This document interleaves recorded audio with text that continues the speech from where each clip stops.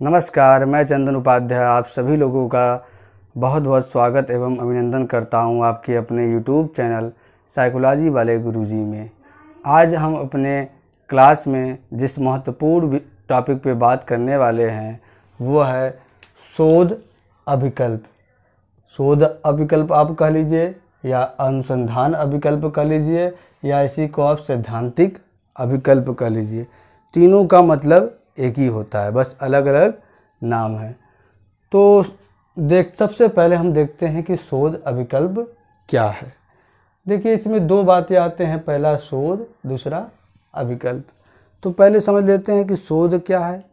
Simple भाषा में अगर हम कहें तो नवीन ज्ञान की प्राप्ति करने के लिए, सिद्धांतों का निर्माण करने के लिए, अपने ज्ञान को बढ़ाने के लिए, जिन प्रविधियों का उपयोग हम करते हैं, उसे हम क्या कहते हैं? शोध कहते हैं। यानी कि शोध क्या है? किसी भी विषय वस्तु या किसी मुद्दे के बारे में जब हम गहनता से जाँच करते हैं, वैज्ञानिक विधियों के आधार पर तो उसे हम क्या कहते हैं? शोध कहते हैं। अभिकल्पना का शाब्दिक अर्थ होता है योजना। अभिकल्पना को इंग्लिश में कहते हैं डिज़ाइन। इसका शाब्दिक अर्थ होता है योजना। ठीक है? तो शोध अभिकल्प अगर दोनों को मिला दिया जाए तो दोनों के बारे में हम देख लेते हैं, शोध अभिकल्प या अनुसंधान अभिकल्प या सैद्धांतिक अभिकल्प क्या है। सबसे पहले इसके, इसका हम लोग अर्थ देखते हैं। तो अर्थ देखिए क्या है वैज्ञानिक अनुसंधान प्रक्रिया का महत्वपूर्ण भाग है। यानी कि विज्ञान के क्षेत्र में जो अनुसंधान होते हैं, जो शोध होते हैं, जो खोज होते हैं, उसका एक महत्वपूर्ण भाग कौन है? शोध अभिकल्प है। उसका एक महत्वपूर्ण भाग शोध अभिकल्प है। कोई भी इसका अर्थ देख लेते हैं समान वे में।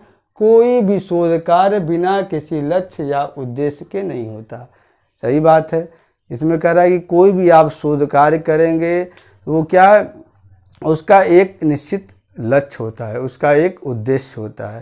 ठीक है? बिना उद्देश्य के आप जो है कोई शोध कार्य नहीं कर सकते हैं। जैसे जब जैसे अगर आपके जीवन में कोई उद्देश्य नहीं है, कोई आपके जीवन का लक्ष्य नहीं है तो आप इधर उधर भटकेंगे, आप जो है सही जहाँ नहीं पहुँच सकते हैं। जैसे आपको कहीं जाना है उसका उसका क्या है, आपको जो है रास्ता नहीं पता है, ठीक है तो आप कहीं भी इधर उधर भटक लेंगे तो इसी प्रकार क्या है कि कोई भी हम शोध कार्य करें, उसका एक निश्चित लक्ष्य या उद्देश्य होता है। इस उद्देश्य या लक्ष्य का विकास एवं स्पष्टीकरण शोध कार्य आरंभ करने से पूर्व ही निर्धारित कर लिया जाता है। इसमें कहने का तात्पर्य यह है कि जो शोध कार्य हम करते हैं, उसका लक्ष्य और उसका जो है उद्देश्य क्या है? शोध कार्य शुरू करने के पहले ही हम डिसाइड कर लेते हैं, उसको स्पष्ट कर लेते हैं, उसको क्लेरिफाई कर लेते हैं, उसको आइडेंटिफाई कर लेते हैं। ठीक है? शोध के उद्देश्य के अध्ययन विषय के विभिन्न पक्षों को उद्घाटित करने के लिए पहले से बनाई गई योजना को हम क्या कहेंगे? पहले से बनाई गई योजना को योजना की रूपरेखा या ब्लूप्रिंट को शोध विकल्प कहते हैं। ये कह कि शोध के उद्देश्य के आधार पर, यानी जो हम अपने शोध का रिसर्च का उद्देश्य बनाए हैं, उसके आधार पर अध्ययन विषय, जिस विषय में हम अध्ययन कर रहे हैं उसके विभिन्न भागों को उद्घाटित करने के लिए, यानी कि सामने रखने के लिए, पहले से बनाई गई योजना की रूपरेखा। ठीक है, एक एक ब्लूप्रिंट उसको हम क्या कहते हैं? शोध विकल्प कहते हैं। यानी कि किसी भी रिसर्च को हम शुरू करते हैं तो उसके पहले उसके, उसे क्या एक ब्लूप्रिंट बनाते हैं, एक रूपरेखा बनाते हैं। तो उसी को हम क्या कहते हैं? शोध अभिकल्प कहते हैं। जैसे आप कोई नया घर बना रहे हैं तो घर भी बनाने के पहले आप एक कागज़ पे नक्शा बनाते हैं। तो वो क्या है? कागज़ पे जो नक्शा बनाते हैं, उसको ब्लूप्रिंट कहा जाता है, उसको रूपरेखा कहा जाता है। वही शोध की भाषा में जब हम कोई शोध कार्य करते हैं तो पहले उसका एक रूपरेखा बनाते हैं कि इसका समय, समस्या क्या होगा, इसके बाद इसकी सीमा क्या होगी, कौन सी विधि अपनाएँगे, क्या टूल्स लगेगा, ये सब हम पहले से क्लेरिफाई करते हैं। तो इसी ये सब जो योजना बनाते हैं तो इसको हम क्या कहते हैं? शोध अभिकल्प। या इसी को सैद्धांतिक अभिकल्प कह लीजिए, या इसी को क्या कह लीजिए? अनुसंधान अभिकल्प। अब इसकी कुछ परिभाषा हम देख लेते हैं। सबसे पहला परिभाषा दिया है रोनाल्ड गिस्ट के अनुसार। इनकी ये कह रहे हैं रोनाल्ड गिस्ट कि शोध अभिकल्प उस योजना से संबंधित है जिसके उस योजना से संबंधित है जिसके द्वारा आवश्यक सूचनाओं का विकास किया जाता है। ये कह रहे हैं कि गिस्ट की शोध अभिकल्प एक योजना से इसका संबंध होता है, ठीक है? और उस योजना में क्या होता है? विभिन्न प्रकार के सूचनाओं का विकास किया जाता है, ठीक है? शोध अभिकल्प जो आप बनाएँगे तो उसमें पूरा जो है एक तरह से शोध में आपको जो जो करना है वो पूरा एक संक्षेप रूप में उसकी रूपरेखा बनी होती है, उसका विकास किया जाता है, ठीक है? उसको शोध विकल्प कहते हैं। अब करलिंगर करलिंगर के अनुसार देख लेते हैं। करलिंगर कह रहे हैं कि शोध अविकल्प एक योजना, संरचना तथा रणनीति है। ये कह रहे हैं कि शोध का अविकल्प जो होता है, वो एक योजना है। यानी कि किसी शोध में, शोध, किसी शोध कार्य करने के लिए पहले से जो हम एक प्लानिंग करते हैं, ठीक है? और उसके बाद संरचना, शोध की संरचना जो स्पष्ट करते हैं कि शोध में क्या क्या हमको करना है। तथा रणनीति की शोध कैसे हमको करना है। इसके लिए क्या क्या चीज़ की ज़रूरत होगी, कौन से टूल्स की ज़रूरत होगी, ठीक है? रणनीति है जिसकी रचना इस प्रकार की जाती है कि शोध संबंधी प्रश्नों का उत्तर प्राप्त किया जा सके। मतलब इसकी रचना इस प्रकार की जा सकती है कि जो शोध संबंधी हमारे प्रश्न है उसका उत्तर प्राप्त किया जाए। जैसा कि आप जानते हैं कि शोध में सबसे पहला होता है समस्या। और समस्या क्या होता है? एक प्रश्नवाचक वाक्य होता है। उसी का उत्तर प्राप्त करने के लिए पूरा रिसर्च किया जाता है। तो यही कह रहा है कि शोध अविकल्प के माध्यम से क्या है? शोध संबंधी प्रश्नों को उत्तर प्राप्त किया जाता है। ठीक है? तीसरा परिभाषा क्या है पी वी यंग का? ये कह रहे हैं कि क्या? ठीक? कहाँ? कब? कितना? किस तरीके से इत्यादि के संबंध में निर्णय लेने के लिए किया गया विचार अध्ययन की योजना या अध्ययन अभिकल्प का निर्माण करता है। ये कह रहे हैं कि क्या मतलब शोध क्या होगा? और शोध का प्रतिदर्श, शोध शोध का जो क्षेत्र है वो कहाँ होगा?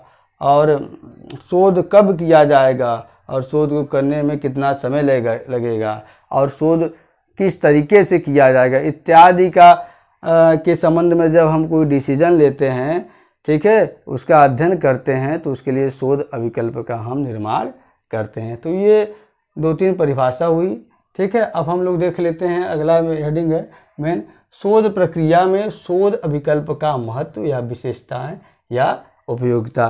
कहने का ये तात्पर्य कि शोध जो प्रक्रिया होती है रिसर्च का जो अपना एक प्रोसेस होता है, उसमें जो रिसर्च डिज़ाइन होता है, यानी कि शोध अभिकल्प होता है, उसका महत्व क्या है, उसका विशेषताएँ क्या है और उसकी उपयोगिता है। तीनों बातें आप कहेंगे एक ही होंगी। महत्व कर लीजिए, विशेषताएँ कर लीजिए या उपयोगिता कर लीजिए। ठीक है तो सबसे पहले हम लोग देखते हैं, पहला महत्व क्या है? शोधकर्ता के लिए समय समय पर दिशा निर्देश का काम करता है, ठीक है?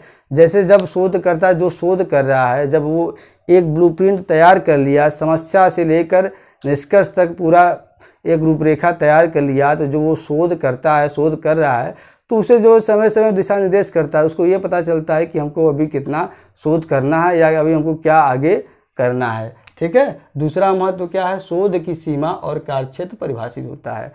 जब कोई रिसर्च होता है तो शोध विकल्प में इस बात का भी इस बात इस बात का भी इंडिकेशन होता है कि क्या है इस शोध की सीमा कहाँ तक है? मतलब कि कौन से एरिया में हम शोध करेंगे? क्या हमारा क्षेत्र है ठीक है?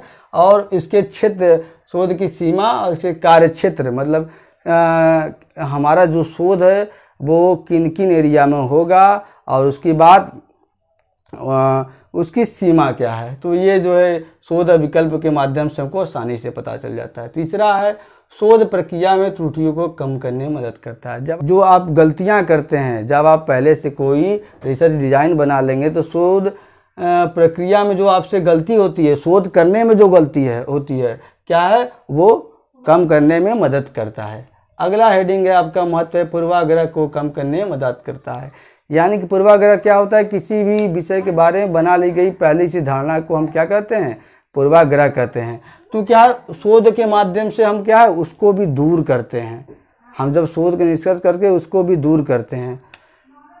पचवा, एक शोध अविकल्प के प्रयोग से सटीक और विश्वसनीय परिणाम प्राप्त किए जा सकते हैं। मतलब एक शोध अविकल्प अगर आप, अगर आपने पहले से ही एक ऐसा जो है रूपरेखा तैयार कर लिया, एक ब्लूप्रिंट तैयार कर लिया। तो मान लीजिए आप जब रूपरेखा तैयार कर लेते हैं तो आपका आधा शोध हो जाता है। तो वो क्या करता है?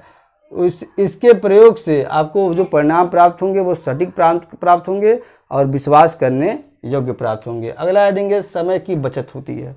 मतलब इसके माध्यम से जब शोध विकल्प आप बना लेते हैं तो आपको समय की बचत होती है। जैसे कि कोई मकान ही बना रहा है तो पहले से आप नक्शा जब कागज़ बना लिए तो क्या है? आपको पता है कि क्या क्या बनाना है और किस आधार पर हमको डिज़ाइन करना है। ठीक तो इसमें क्या है? समय की बचत होती है। तो वैसे ही रिसर्च में भी कर जब हम शोध विकल्प बना लेते हैं तो हमारे समय की बहुत बचत होती है। सतमा हेडिंग है, शोध अविकल्प के कारण पूरे शोध अध्ययन की एक समग्र समीक्षा की जा सकती है।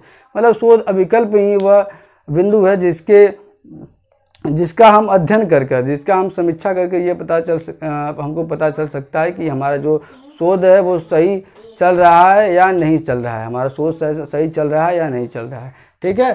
तो ये कुछ शोध का महत्व हुआ ये शोध की विशेषताएँ हुई ये शोध का उपयोगिता हुआ। तो आज हम लोगों ने शोध अभिकल्प या अनुसंधान अभिकल्प या सैद्धांतिक अभिकल्प के अर्थ देखा परिभाषा देखा और इसके महत्व को समझने का प्रयास किया। इसके महत्व को समझने का प्रयास किया। ठीक है, मिलते हैं हम अपने अगले क्लास में। वीडियो को पूरा देखने के लिए बहुत बहुत धन्यवाद।